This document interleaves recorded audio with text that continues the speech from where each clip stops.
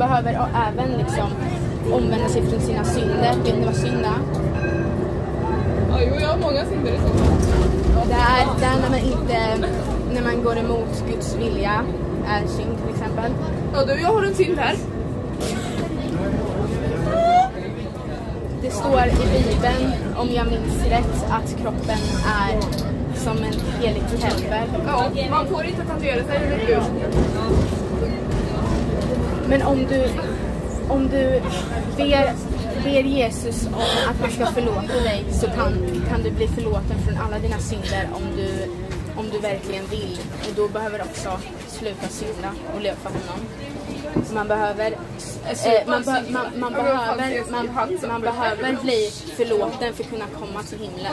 Man, måste, man behöver eh, bli förlåten för alla sina synder för att kunna komma till himlen.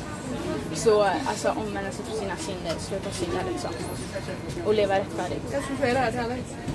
Han kommer bara, din karma. Den smittar sig på mig. Förresten, islam är som många, eller som alla andra religioner förutom kristendomen. Alla de religionerna leder tyvärr till helvetet. Så Jesus, han är vägen, livet och sanningen. Nej, jag tror så också håller på någon annan religion blir det helvete. Ja, varför Ja. Jag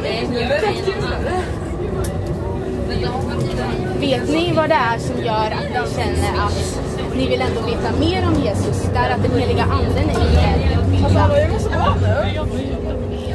Okej, men kom ihåg, Jesus är Gud.